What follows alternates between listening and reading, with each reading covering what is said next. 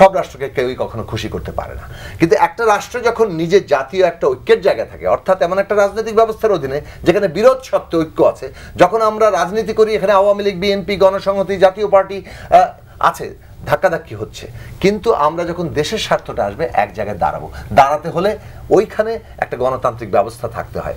সেই ব্যবস্থা আপনি ভেঙে দিলে তখন দেশটা বিভক্ত হয়ে পড়ে। আওয়ামী লীগ যে আজকে বিদেশের সাথে সম্পর্ক করছে, দেশ হিসাবে নয়, আওয়ামী লীগের গদির স্বার্থের জায়গা থেকে। এই যে গদির স্বার্থের ভিত্তিতে আপনি অপরাপর রাষ্ট্রের সাথে সম্পর্ক করছেন, সেটা দেশকে হুমকির মধ্যে ফেলছে। আওয়ামী লীগ এখন এমন অবস্থায় আছে যে কেউ যে কোনো জায়গা থেকে সুষ্ঠু নির্বাচনের যদি দাবি তোলে, মানবাধিকারের যদি কথা বলে, আইনের শাসনের যদি কথা বলে, দুর্নীতি, দুঃশাসনের বিরুদ্ধে যদি কথা বলে মানে সেটাকে বিএনপির ভাষা হিসেবে বলবে, কেননা তারা তাদের প্রতিপক্ষ হিসেবে বিএনপিকে দেখে। সেদিক থেকে তারা প্রধান আক্রমণটা সেই জায়গায় করে। আমরাও যখন বলি, আমাদেরকেও বিএনপির ভাষা বলে, যুক্তরাষ্ট্র বললে তাকেও বিএনপির ভাষা বলে, পৃথিবীময় বিএনপি ছাড়া আর আওয়ামী লীগ তেমন কিছু দেখতে পাচ্ছে না।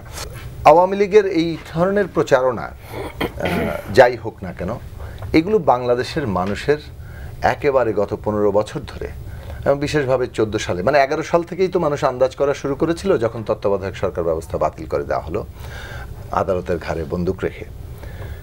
যেটা একটা রাজনৈতিক সমঝোতা, সেটা আদালত বাতিল করে দেন।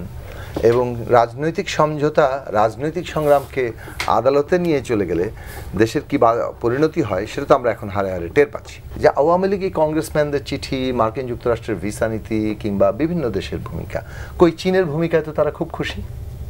খুব ভারতের ভূমিকা যদি তখন তাদের পক্ষে যায়, তখন তারা খুব খুশি। এমনকি দু হাজার চোদ্দ আঠারো সালে যখন মার্কিন যুক্তরাষ্ট্র কিংবা ইউরোপ এত প্রবলভাবে বিরোধিতা করেনি অথবা নির্বাচন নিয়ে তাদের পর্যবেক্ষণ দেয়নি। তখন তো তারা খুব খুশি ছিলেন। তারা বিভিন্ন পার্লামেন্টে ইন্টারন্যাশনাল ফোরামে আমাদের পার্লামেন্ট নাকি খুব প্রশংসিত হচ্ছে, আমরা কোথায় কোথায় নাকি চেয়ারম্যানও নির্বাচিত হচ্ছি, এতে খুব খুশি ছিলেন তারা। তার মানে হচ্ছে যে নিজের পক্ষে গেলে একরকম, আর যখন এটা নিয়ে প্রশ্ন ওঠে তখনই খুব দেশপ্রেম, স্বাধীনতা, সার্বভৌমত্ব এইসব প্রশ্ন আসে। ভোটাধিকার হরণ করে বাংলাদেশে এত বড় গলা কথায় আর কেউ কোনোদিন বলতে পারেনি। বর্তমান সরকার যেটা বলছে। সুতরাং সেই দিক থেকে আমি বলব যে বাংলাদেশ রাষ্ট্রকে অপরাপর রাষ্ট্রের সাথে সম্পর্কের ক্ষেত্রে একটা সার্বভৌমত্ব স্বাধীনতার জায়গা থেকে হুমকির মধ্যে ফেলেছে বর্তমান সরকার।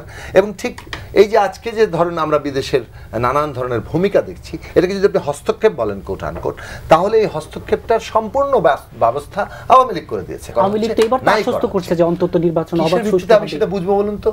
আপনি দেখুন একটা নির্বাচন কমিশন তারা খাড়া করেছেন। নির্বাচন প্রধান নির্বাচন কমিশনার যাকে ভদ্রলোক হিসেবে খুবই আর্টিকুলেটেড হিসেবে মানে এখানে আমরা অনেকেই পরিচিত জানতেন।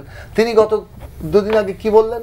একজন প্রার্থী, তাকে আপনি সমর্থন করেন, সমর্থন না করেন, কিন্তু তাকে ঘুষি মারে দিল, তিনি বলেন উনি কি ইন্তেকাল করেছেন? মানে এটা একটা একজন কথা হলো, এই যে এটা এটা এটা ক্ষমতার ভাষা। ক্ষমতা যে ইতিমধ্যেই পেয়ে বসেছে সবাইকে এবং ক্ষমতার ভাষায় ওনারা কথা বলা শুরু করেছেন, সেটা পরিষ্কারভাবে বোঝা গেল। আপনি কাকে অন্য কিছু বলবেন? আপনি যখন মুক্তিযুদ্ধের মৌল চেতনা কেড়ে নেন, এখন আপনি বলবেন, আপনি বঙ্গবন্ধুর কন্যা, এই জন্য আপনি সবচেয়ে বড় মুক্তিযুদ্ধের পক্ষ শক্তি এটা মোটেই মুক্তিযুদ্ধের পক্ষ শক্তি নয়।